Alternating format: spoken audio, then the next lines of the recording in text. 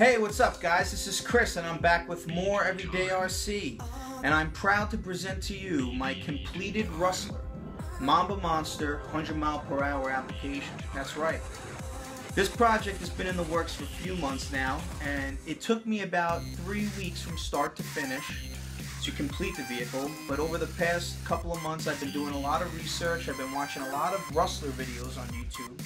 And of course, you guys already know YouTube is the best place to get your research on your RC vehicles. And there's a lot of helpful people out there that gave me some tips here and there. And Geo Stealth R1 started me off with a nice parts list that I went off of. And basically, I've taken all that information that everyone's given me and I took the ball and I ran with it in the direction that I wanted to go. And here it is, guys. I want to show you everything that I had to do.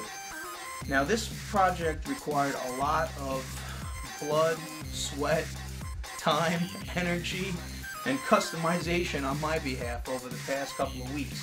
Believe it or not, I had to do a lot of welding on this. I made my own custom weights, I made my own custom battery tray extenders, and I want to show you all of it right now. So first and foremost, I want to give a shout out to the man, to the inspiration behind this build, and he's known as ACE from NYC, otherwise known as Draven3907. And he was the first guy to put the Mamba Monster in the Rustler. And I wanted to do an homage to him and my good friend GeoStealth R1, who also kind of started this whole thing a few years back. And I never would have thought that I'd ever get this much into it, but I got bit by it and I'm hooked. So here we go, you know. I enjoyed this build. This build was one of my favorites. The only other build that I can think that was as epic as this was my 5T, which was a pretty epic build. But this one required a lot of customization, like I said, as far as the soldering I had to do with the electronics and the custom weights and battery tray extender. So I'm going to bring you guys in on a tour and I'm going to try and show you everything that I did to the vehicle and I'm going to try and not make this video crazy long. So Thanks a lot, guys. Alright, guys, here's the finished product up close. I hope you like it. I just finished spraying the body today. I went with a very simple design. I went with the black and I did a silver stripe along the side here to highlight my Maxamps sticker because you guys know that that's what I'm running in there. So I did a very simple design. Did a silver stripe, followed through along the back here. And I can honestly say there are no flaws on the paint job. It was a very simple design, so there wasn't much to really mess up. But yeah, I just went with a silver stripe along the side here.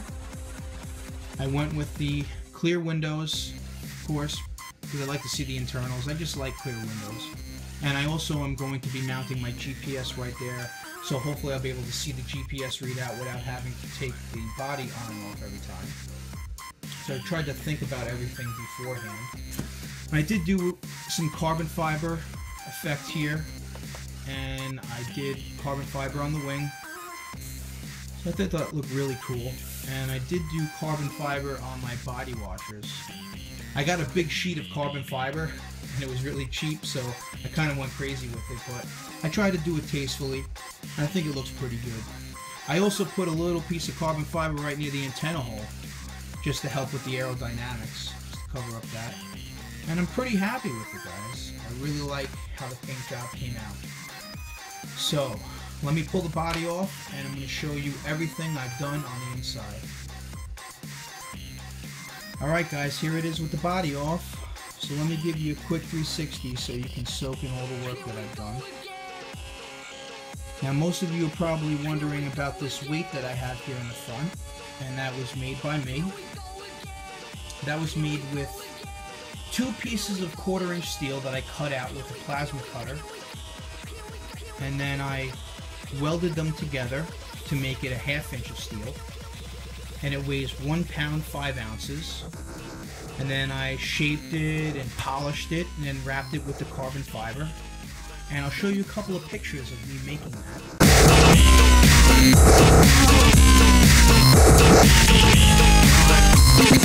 that.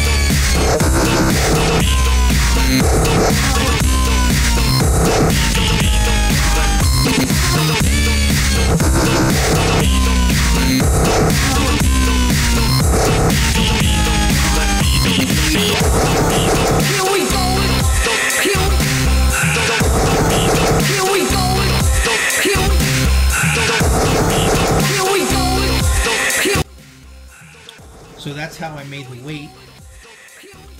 bit of welding that I had to do was on these battery tray post extenders. Now I bought the battery tray extender kit for the Traxxas Rustler, but it still wasn't high enough for my two Maxamps 5450 11.1 volt 120C 3S LiPos. So I am running 6S LiPos in here, but the battery tray extender kit didn't help me out. I didn't have enough clearance. So I actually welded the post to the spacers that you get that you would use to raise your ESC tray in the back. Well, I used them and I welded them to the posts and then I welded a screw to the bottom for threads and then I wrapped them with some yellow Tygon fuel line and some black heat shrink tubing to cushion it from side to side.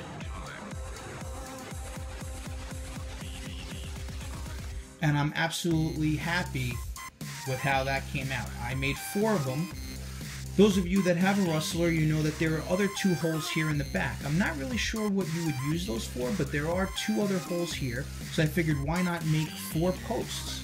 So I made four posts, and it is a little offset, the holes, but it is enough to hold the batteries in, and they're not going anywhere, guys. So I'm really happy with how that came out. I am going to be ordering a black one for the back. I know this one is gray right now, but I have a black one coming in, so it'll match. Okay, so that's what I did as far as my battery tray.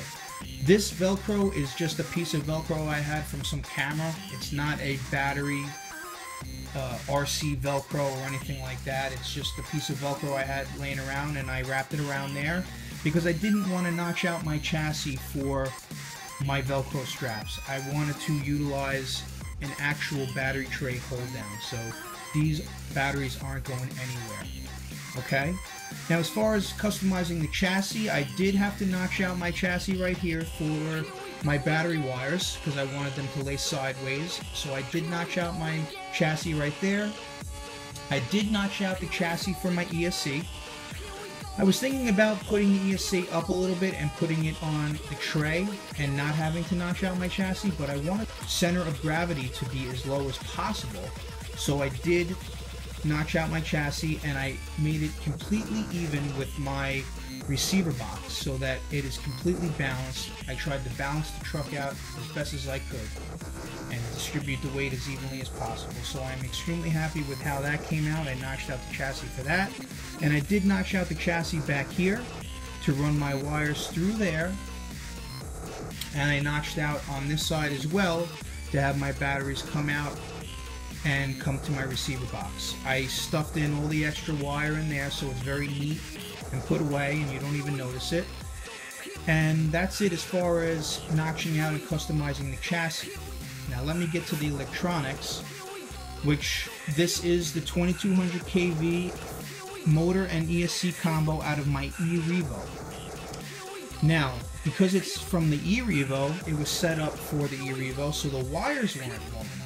So I actually had to solder my own leads make my own wire leads to lengthen the wires so that they would be able to meet one another.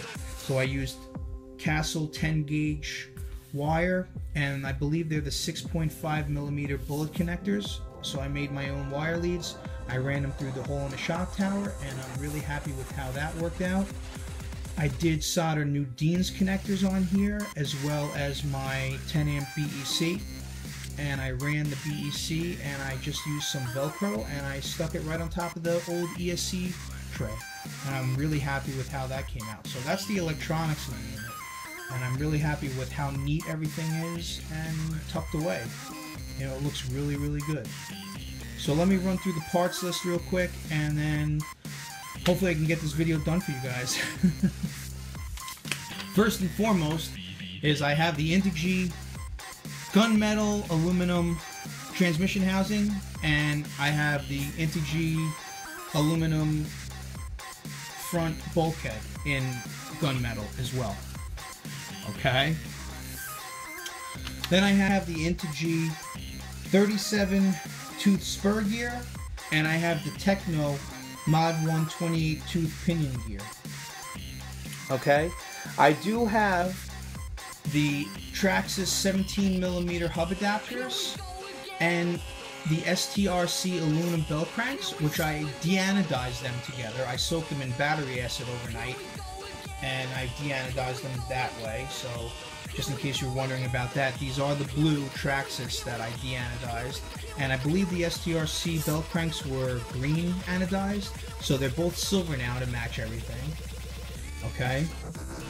I have a complete Boca bearing kit in here in the transmission and in the axle carrier, so I'm running Boca bearings and everything.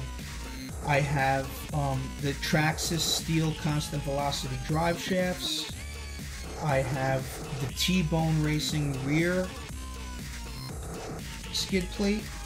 I have the RPM front bumper, which I did install regular way, but I did heat it up and bend it straight so that it's level with everything and hopefully it helps with the aerodynamics a little bit. Um, I do have the of course, the RPM rear shock tower, the RPM front shock tower, RPM A-arms, axle carriers, caster blocks. I do have RPM rod ends, short rod ends and long rod ends. I have, I'm not sure who makes it, but if you go on eBay, it's just an aluminum tie bar in the front rather than the fiberglass tie bar. I do have, of course, the GRPs, medium compound. I am running the Traxxas big bore shocks out of my Slash. So I did do the shock mod to those. Sorry about shaking the camera around. I did do the shock mod to those and I'm really happy with those and I'm running the Bad Horsie shock covers on there. So I'm really happy how everything came out guys. Alright guys, so that was a quick overview on my Rustler Mamba Monster. There was a lot to cover in this video, so I'm sure I didn't get to everything. I didn't want to make this video too long, so if there's anything you have a question on, feel free to ask me in the comments below. I just wanted to thank each and every one of my subscribers. I just hit and soared past 2,000 subscribers, so I'm like really psyched about that. Thank you for all the support and all the helpful advice I've gotten along the way from everyone out there on YouTube. You guys are what make me keep doing this because of all your positive feedback. So thanks a lot to everyone out there. I hope you guys are making it happen in your RC world. And for now, this is Chris the Everyday RC Guy saying thanks for watching.